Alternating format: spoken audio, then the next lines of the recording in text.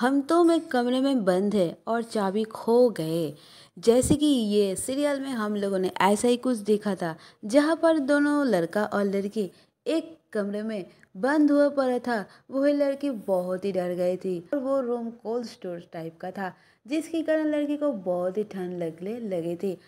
और वही लड़का ने लड़की को बचाने के लिए कुछ ऐसा हरकत करने की कोशिश की, जिसके कारण लड़की तो रो पड़ी थी और उनको बार बार मतलब लड़के को बार बार ये भी कह रहे थे कि प्लीज़ तुम ऐसा कुछ मत करो मैं ऐसा कुछ अभी कुछ कर नहीं सकती हो। क्या हुआ उसके बाद? आप लोगों को पता है? वेल well, मैं तो सीरियल के नाम भी नहीं बताया और ये दोनों कैरेक्टर का नाम भी नहीं बताया। वैसे ये सीरियल बहुत ही हिट हुआ था और फ़िलहाल ये तो ऑफ़ एयर भी हो चुकी है। आप लोग बताओ सीरियल का नाम क्या था? और इन दोनों कैरेक्टर का नाम क्या था?